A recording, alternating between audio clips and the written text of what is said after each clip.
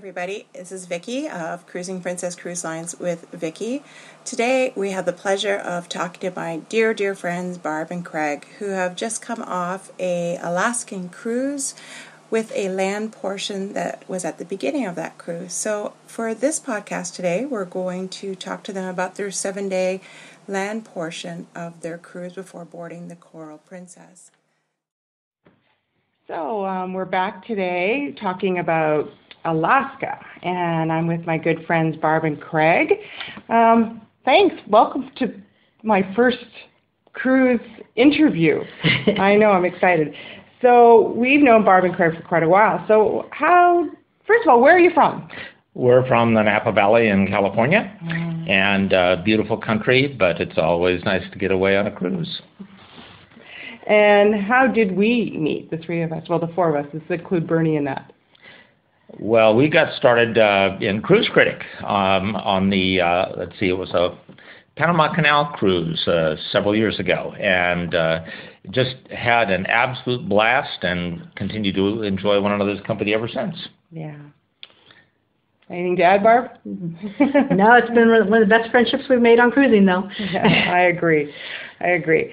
So you did, you just pointed out to me this morning, you did the Connoisseur Deluxe Escorted 15 night cruise tour. Boy, that's a mouthful. Yes, it is, but it was a heck of an experience. Yeah. Recommend it uh, thoroughly. And so tell me, why did you pick this itinerary, first of all?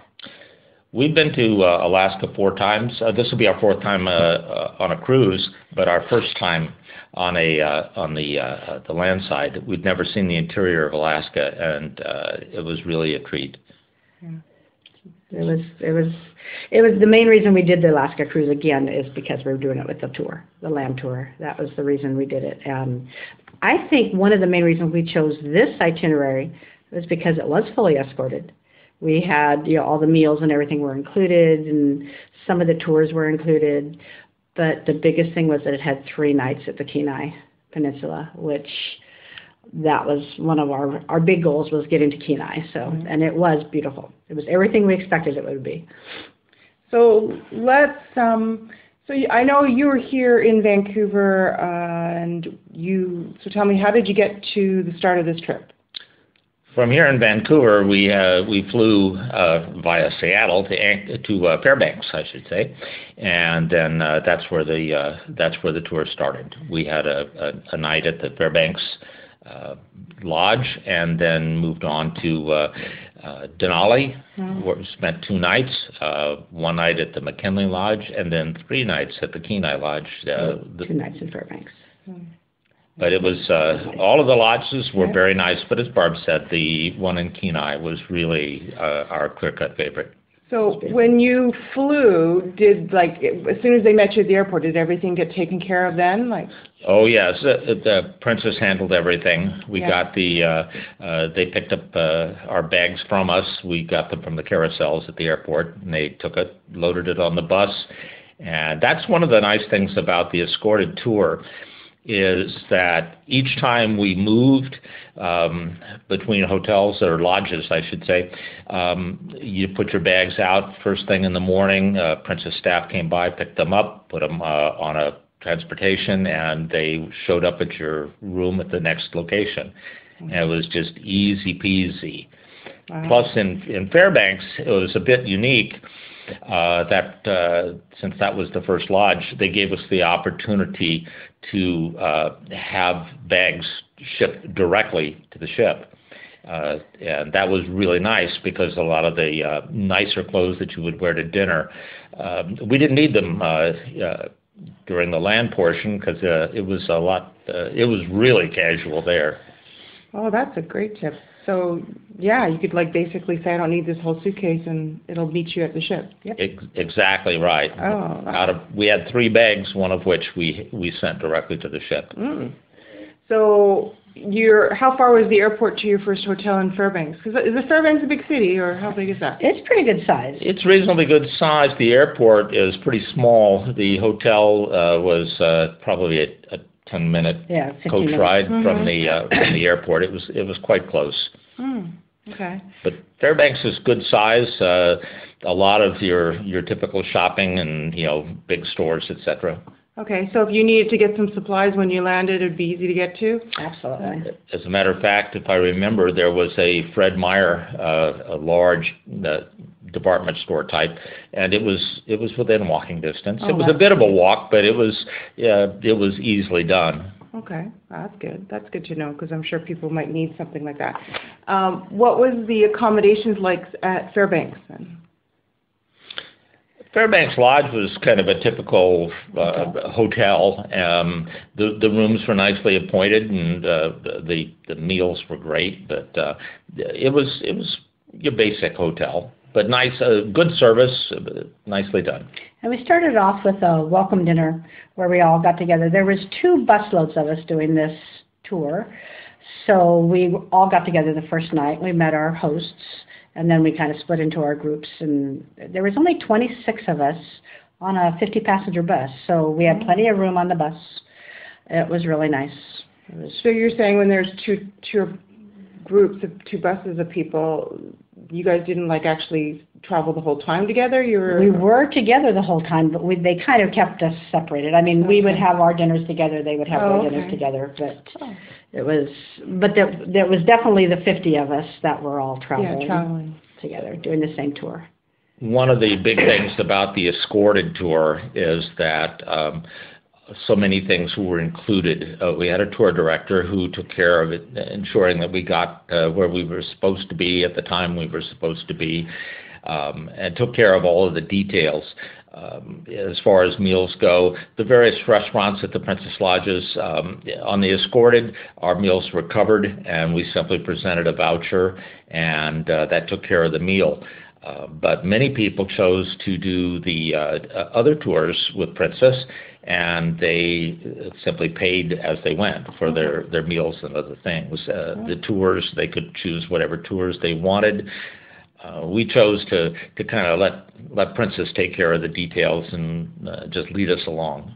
So if people didn't have the food included, how were the prices on the, you know, because we hear always that Alaska's really expensive, so how were, I don't think it was any more expensive than anywhere else in Alaska. I Mhm. really think their prices were, were fair. I mean, they're high compared to what we're used to, Mm. but they were fairly, fairly But nice. you're And the you're food in was Alaska. great. The Okay. food was great. Was and good. so you had vouchers, so you could have pretty much whatever you wanted on the Mhm. menu and everything would be included? Just like if you went to the dining room on the Yes. ship? The prices were such that they actually gave you a, there was a limit. It's just you didn't see it. Okay. But if you So went didn't absent, have crab legs all night long? yeah, you didn't want to be doing that. Okay. Your, your server was knowledgeable in terms of what the voucher's worth was. And uh, if you started going hog wild and going way over the limit, uh, they, they would let you know. And alcohol was additional. You know, that, Okay. they did not So include similar alcohol. to Princess, when Right. you're on board? Oh, Yes, that very lovely. similar. Oh, that's good. One last thing to worry about too. Oh, absolutely. And our tour guide, when we got to each facility, they gave us a packet that had our, all of our tickets for the vouchers and everything. So each, oh. we didn't have to get them all at the very beginning and try and hang on to them. It was literally at each facility, he gave us another packet that had all the stuff we needed. And of real importance, that packet also included our room keys. So there was absolutely no No check-in, check-in. no nothing. You Very simply nice. walked off the bus with your little packet in hand. Straight to your You room. went straight to your room, your luggage was already there. You, we never interacted with the front desk at all. Oh, sounds lovely, because that is a pain. It is. Checking in, checking out, making sure everything, oh, that's we Didn't have to do any of that. And there's no bills to worry about, and so there was there, nothing to do.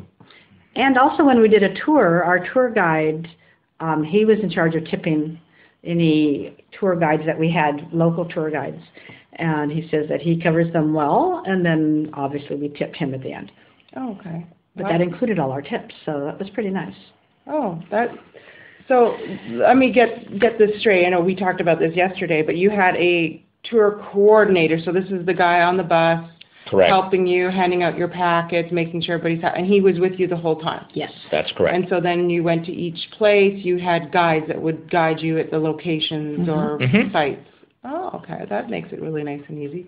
So you always were dealing just with one person if you had an Yep. issue? That's correct. Okay. And we did have an issue. We ended up having to go to the ER out of Kenai, And Princess was amazing. They paid for our transportation down there. It was about an hour drive Each way? um, each way, yeah. And the lady sat with us at the hospital and waited.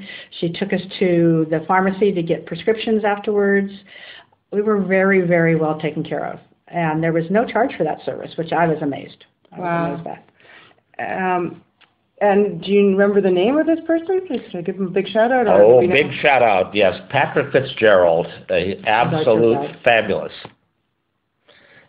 Thoroughly enjoyed Patrick's work. He was just, uh, he was amazing, very, uh, attentive.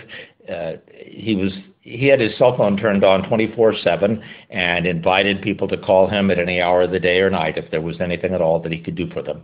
Wow, that's amazing. Even when when we got back from the emergency room, he came over with the menu for the night. You know, we had vouchers for dinner that night, and he came over with the menu, took our vouchers, took our orders, went over and got it, and brought it back to our our room. So that was service above and beyond. It was very nice. So let's talk. Okay, so you're in Fairbanks and you're at your hotel, Mhm. and so your first day, where you have three days in or Fairbanks, Denali. Two days in Fairbanks. Okay, so what did you do there? Our uh, pre-set tours, uh, we went out to uh, to do some gold panning Oh, and, uh, and saw one of the original uh, dredging machines that uh, that were used to uh, uh, to do mass uh, gold mining in early Alaskan days. And that it was it was quite an operation. Uh, our gold panning experience netted us a gold worth a whopping twenty two dollars. Wow, that's pretty good. Oh yes, there's That's some between both of us, though.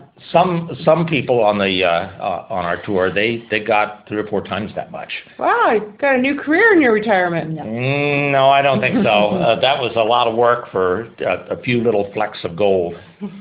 They also took us on a little bit of tour of the uh, Alaska pipeline and explained a lot of the pipeline and, you know, how it was built, you know, back in the 60s when, in fact, the guys asked, did, did any of us have a friend or family member that worked the pipeline? And he says he's never ever asked a group of people that didn't know somebody that Mhm. worked the pipeline. You know, That was so a big big job maker that. It was. Oh, that's and and anything else you did in Fairbanks? We did a uh, uh, river ride. cruise on a, um, A river uh, the old paddle wheeler. Oh. and that was pretty cool. You went way down the uh, down the river, and uh, along the way there was some magnificent sights, and a lot of explanation of old time Alaska.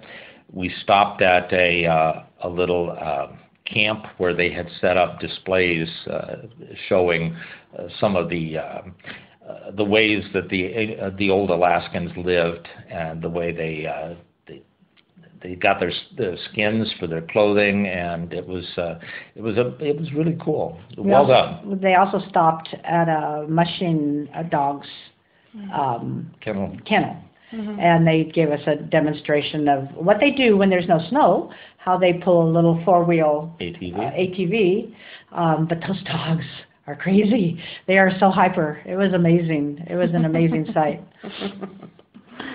So, what was your next stop then? Denali. Next stop was Denali. Um, beautiful lodge. There's actually uh, Denali was the the first Princess Lodge to be constructed, but uh, because of the popularity, they, it has continued to expand. Uh, our rooms were in the the new section. Uh, a little bit higher uh, above the the old section of the lodge. Really very nice location. Uh, again, service was impeccable. We had a uh, um, there was a little pizza parlor that was right next to the hotel. The pizza and beer were great. But then on a after a, a nice day like that, there's nothing like pizza and beer. Yeah. Was there anything around this lodge other than this pizza place? Like, Oh, oh yes, Yeah. the the hotel had their own restaurant, and then uh, right across the street there were a variety of little places. There was a salmon bake place, and Oh. uh, a couple of your your traditional chains. Uh, there was a Subway and a few other things. okay. So Yeah, it's just good to know for people who've never been there and they're planning what they what they will have up there. Okay. And what did you do when you were in Denali? We started with a uh, a, a four wheel drive uh, backcountry adventure. Um, Through Princess. it- again, this was part of, uh, this was a Princess tour, but it was not included in the package. we paid for it. Um, it actually departed from Healy, which is about 11 miles north of uh, Denali Lodge. Um, and this this young man, I think he was in his early 20s, took us um, this amazing adventure in uh, the. There were several, I think it was four Jeep Wranglers. Uh, and we we went through stream beds and we went through trails that were hardly identifiable as trails but he's been exploring the area there for uh, a number of years and really knows his stuff.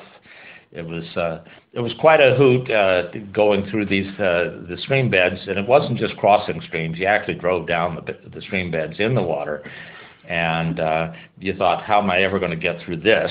And somehow you did. Did it make you feel like you were 20 again?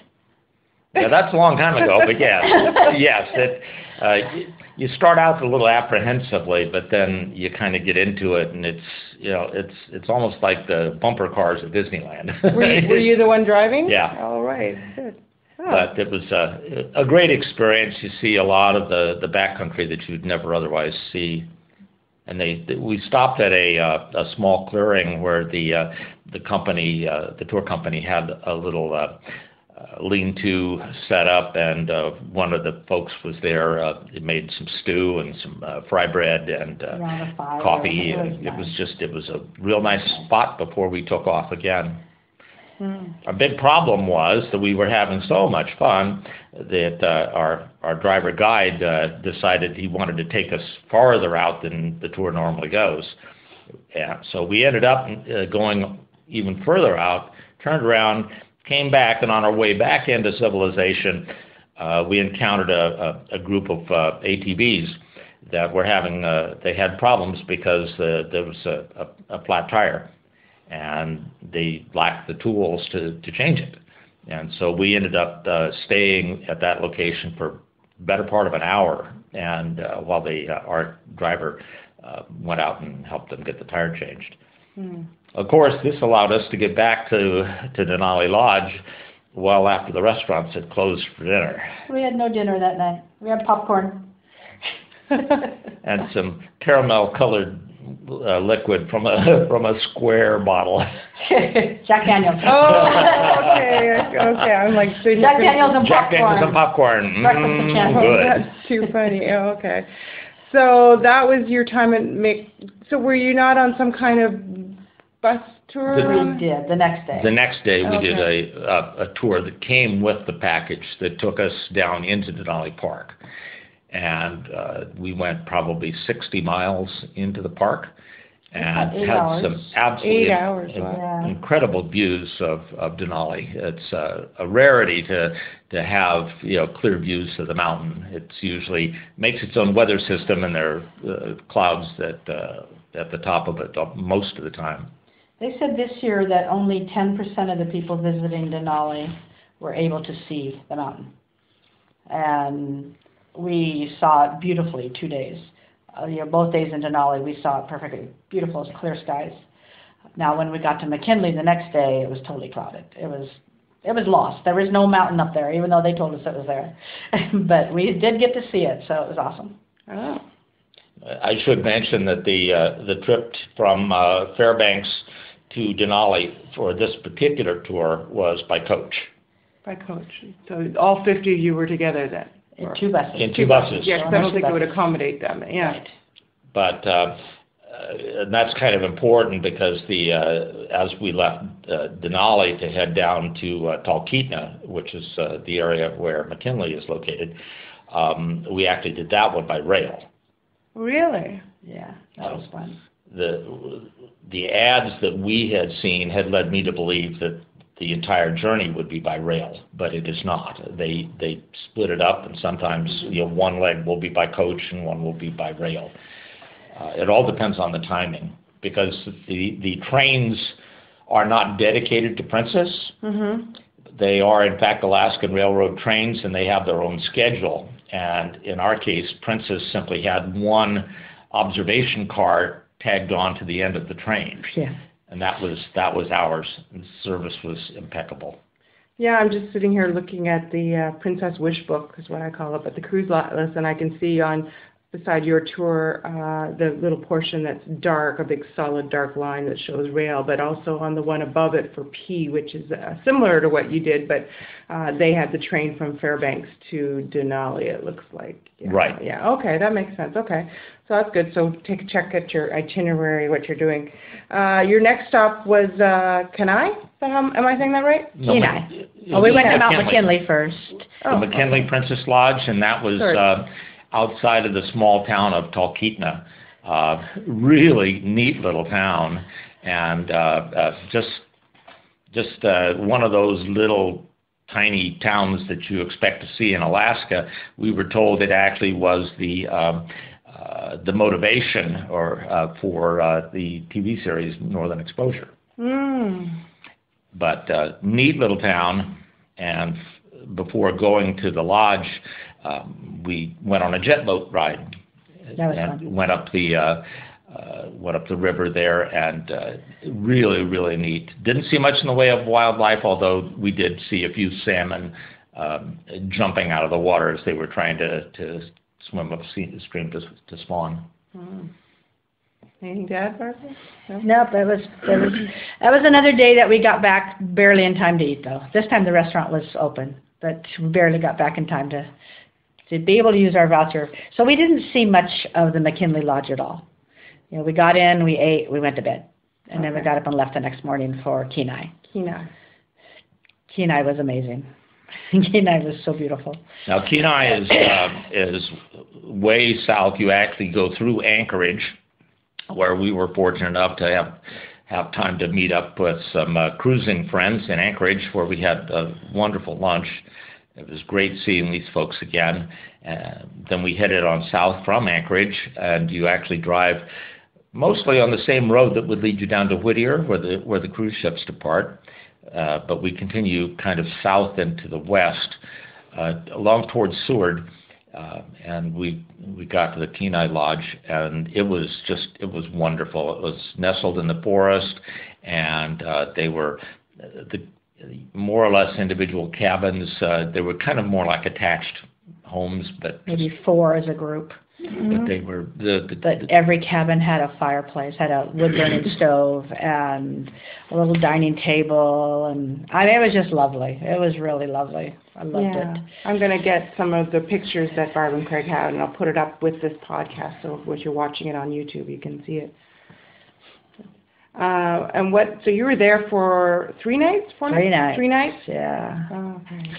unfortunately, with uh, Barb having taken ill, um, we really didn't do anything. Uh, any of the tours from Kenai, we had scheduled a, uh, a tour that, w- by the way, was not included in the package um, to do a scenic river float. But uh, the weather was kind of bad, and Barb was still recovering, and uh, we just elected to pass on that one.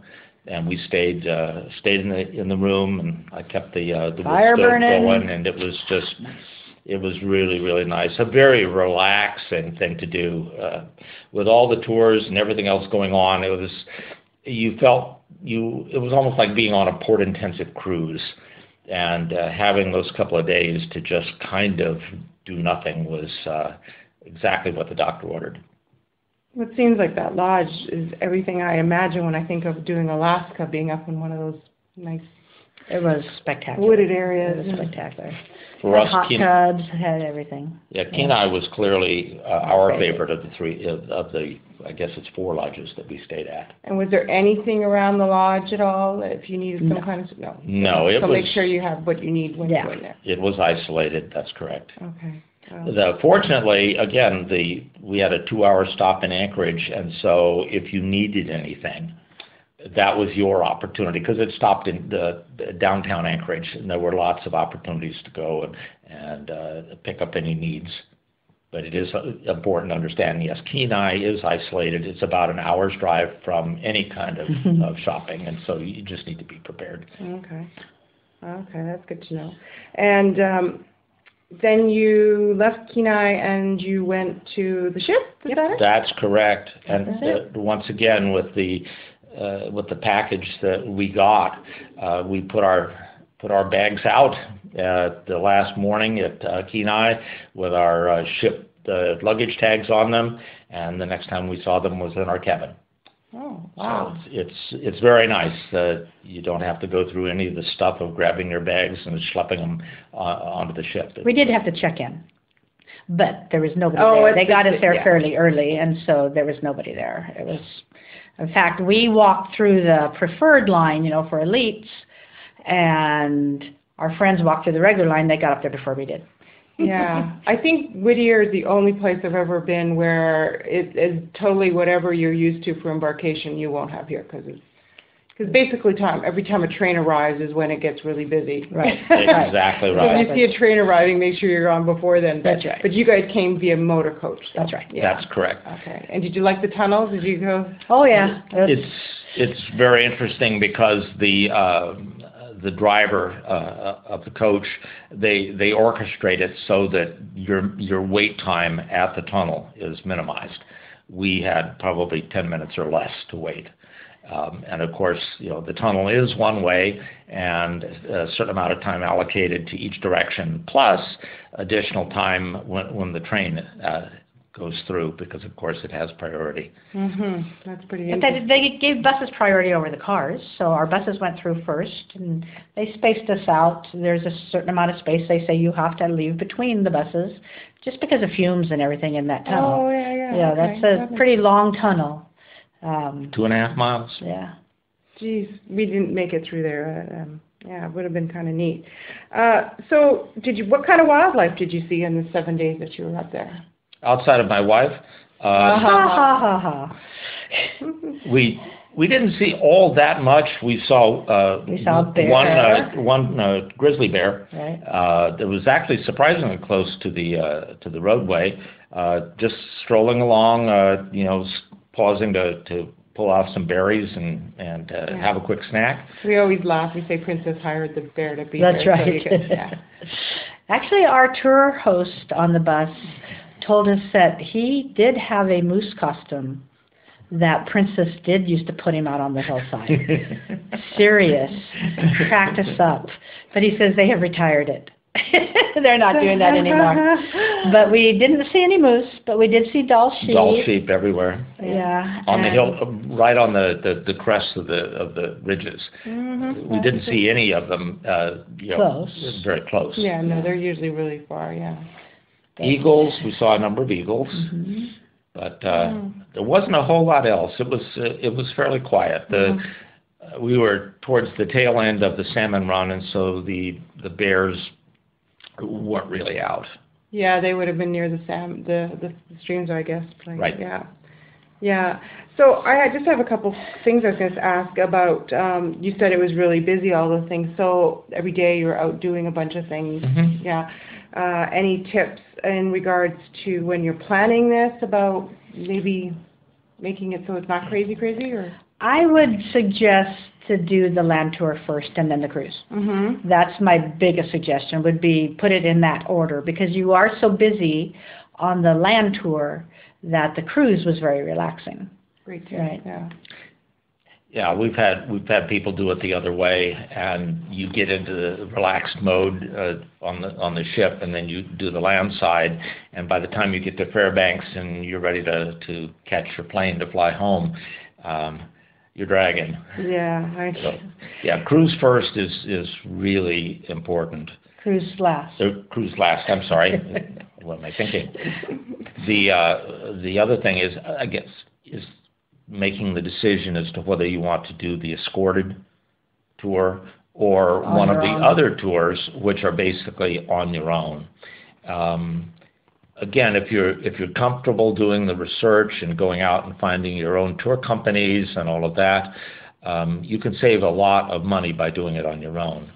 Um, we we thoroughly enjoyed letting someone else do the driving, if you know what I mean. Letting them do everything. It was great. Yeah, they handled it all, and all we had to do was to ensure we were where we were supposed to be when we were supposed to be. Oh, so I'm learning something new. So I can I can see as I'm going through the wish book here that they have Denali Explorer on your own and and these 12 night things. So that's what you're referring to. You Yes. do all the transportation and accommodations, but Right. then you do everything when you're there. Okay. You do your meals, you do your tours, you do everything, so. And they have them set up to, uh, that you can visit some of the lodges. Uh, You're not required to, to do the whole gamut that we did. Um, It just, uh, you know, it's hit and miss. You, you make your, uh, you make your choice, Hmm. and you get to specify what it is that uh, appeals to you most. guess there's plus and minuses on everything, isn't there? Oh, absolutely. But uh, it's just, uh, the interior of Alaska is an incredible place, and I think that uh, for people like us who had cruised there a number of times, it, it was still a, a truly unique, remarkable experience. Oh, and one thing that we did get that was quite exceptional was the change of colors. Mhm. This time of year, all the trees were changing colors, the shrubs were changing colors, and they say their fall only lasts two to three weeks because, you know, they go straight to winter. But we were there at the perfect time. It was so amazingly gorgeous. Yeah, and this is just in case people are listening to this really like in the, in the future. Yeah, Uh, it's the first week of September, second week September 5th Yes. you, you started? Okay. yeah. Okay. It was amazing. The colors were so beautiful. So did your tour guide or your guy that was on the bus with you, was he on the ship with you as well? No, okay. No, he, he says that they, uh, he seems to have misplaced his boarding tags. Oh, yeah, too bad, yeah. No, he was actually quite anxious because we were his last tour for the season. Oh. He was flying home, so he was excited to be going home. Yeah, okay. Now, what about for those people that need to be uh, connected well with the internet? Is there Wi-Fi at all the places? Each, each of the lodges had Wi-Fi service. Uh, McKinley's had, seemed to be a little more spotty. Uh, at Kenai's, uh, Perfect. in the room, it was, uh, it was, it was very spotty, but to go down to the, to the main lodge, and it was perfect. Okay, that's good. And it's all free. I mean, it's not like when you're on a ship and you have to buy minutes. Yeah. It's all just like at any hotel Okay. that has free internet. Well, that, that's good to know. And and how was the weather? Everybody freaks out about Alaska, but how was it? It was You end should- of summer. You should plan to dress warmly because the daytime temperatures uh, were right around 50. Uh, but the first few days were just clear as a bell, uh, sun. Then we got, by the time we got to Anchorage and to Kenai, uh, the weather had uh, uh, definitely turned and we, we had rain. Uh, but again, the temperatures were not that were not that low. Probably again, uh, low 50s. And then we boarded in the ship, and then Okay. as we got as we went south on the ship, it got colder. Yeah. Yeah, that can happen. Yeah, yeah. Um, I think uh, Barb was saying yesterday how key it was to have layers and just kind of on and off. And Absolutely. so, did you need gloves and scarves? Yes, you did. Yeah. We had hats, we had the knit hats, we had the gloves, we had the scarves. Yeah. But we wore T-shirts underneath. You know, not turtlenecks. Turtlenecks would too, be too much. Mhm. You know, and then you did peel. one one of the things uh, is that in many of the tours, uh, you were out in the open air, Mhm. and uh, when there was a wind blowing, uh, you really needed the extra protection, you know, gloves, uh, etc., because of the uh, the cold wind. But it, when you're standing still, for the most part, no, it was it wasn't really that that bad. That's good. Um, and I just made a note. Uh, how was um, like if you you was there laundry facilities or something? I'm thinking if you're on this for seven days, what did you do with regards to laundry? Each of the lodges actually had, They had- uh, laundry facilities for you Oh, to use. It was, uh, it was Coin laundry type thing, or? Mhm. yes, they Coin were. laundry. Mhm. Oh. But it was uh, it was available, and uh, for those that needed it, um, we decided we would hang on and submit Turn it all in on the ship. Yes, yes. Yeah, I can understand that. You're on vacation, you want to be doing laundry. So, um, any last words in regards to advice? What would you say to somebody? Because I know of a few people that are doing this tour next year. What advice would you give them? Uh, one from each of you guys. Uh, just to enjoy the beauty around you. It's the the landscape is so spectacular that you just have to sit back and enjoy it. I, I even put my camera down because I wasn't I was looking at it too much through the lens, and I needed to see it just with my eyes, and it was it's just so spectacular. It's it's land that we don't see. You know, we don't see that kind of beauty. It was amazing. It was the the beauty was just amazing. I love that tip because I I fall into that too. I always have my face up to the camera and I'm missing out, and I go, Vickie, just put the camera down. You know, it's not that. Yeah, it's Yeah. not that important. You need to see with your eyes. Okay. What about you, Craig? What would you advice would you give to people? Again, the main thing I would uh, suggest is uh, make the right choice for you in terms of uh, what land tour you select. Uh, the escorted tours are definitely more expensive, but if you're the kind of person that, that wants to have something, uh, a tour that's stress-free, uh, it's really, really nice because you don't have to worry about selecting anything. It's all taken care of.